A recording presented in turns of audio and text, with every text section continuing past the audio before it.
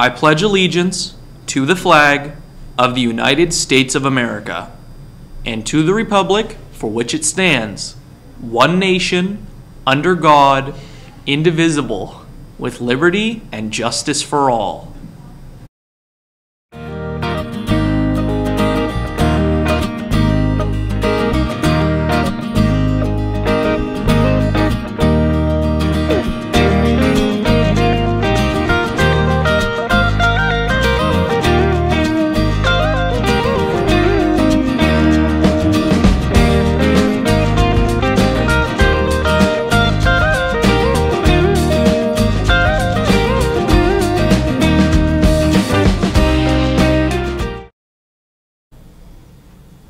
Good morning, Northern Cambria. Today is Tuesday, January 14th.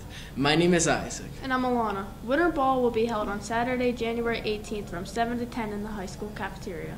Anyone who intends on playing baseball, there is a mandatory player and parent meeting today at 6 p.m. in the middle school cafeteria.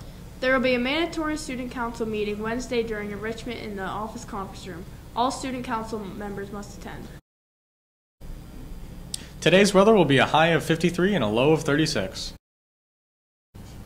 Hey, today for lunch we'll be having corn dog nuggets, baked beans, crispy tater tots, and diced peaches. One small crack doesn't mean that you're broken. It means that you were put to the test and didn't fall apart. Our girls basketball team plays away at Blairsville. Junior high starts at 4 and varsity starts at 6:30. Our rifle team will be home at 4 o'clock against Everett Area High School. Good luck, Colts.